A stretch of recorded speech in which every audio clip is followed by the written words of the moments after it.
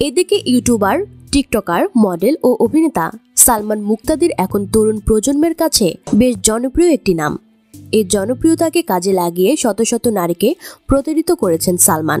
সম্প্রতি এমনই অভিযোগ উঠেছে তার বিরুদ্ধে। নাম প্রকাশে অনিচ্ছুক একাধিক নারীর অভিযোগ, কখনো নারীদের স্টার হওয়ার প্রলোভন দেখিয়ে কখনো প্রেমের অভিনয় করে তাদের সঙ্গে অনৈতিক সম্পর্ক গড়ে তোলেন তিনি। তার ফাঁদে পড়া নারীদের বেশিরভাগই ধনী পরিবারের।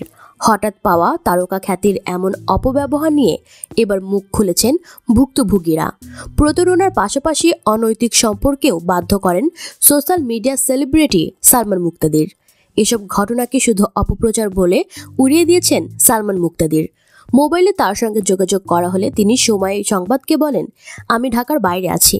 ঢাকায় এসে গণমাধ্যমের সঙ্গে সরাসরি কথা বলব। এই বিষয়ে সালমানের সাবেক প্রেমিকা, সবিজ তারকা জেসিয়ার সঙ্গে কথা বলতে চাইলে তিনি কিছুই বলতে রাজি হননি। এই বিষয়ে সমাজ বিজ্ঞানী বলছেন বহুগামিতার প্রচার, অশ্লীলতার নতুন ইতিহাস এবং তারকা খ্যাতিকে অনৈতিক সম্পর্কের হাতিয়ার বানানোর প্রবণতা সমাজে নেতিবাচক প্রভাব ফেলছে। এ বিষয়ে কোনো ব্যবস্থা নেয়ারও তারা কারোরই নেই। এ বিষয়ে ডিএমপির মিডিয়া বিভাগের অতিরিক্ত উপকমিশনার এন কে নিয়তি বলেন, কোনো অভিযোগ পেলে অবশ্যই তদন্তে মাঠে নামবে পুলিশ। নেওয়া হবে আইনগত ব্যবস্থাও।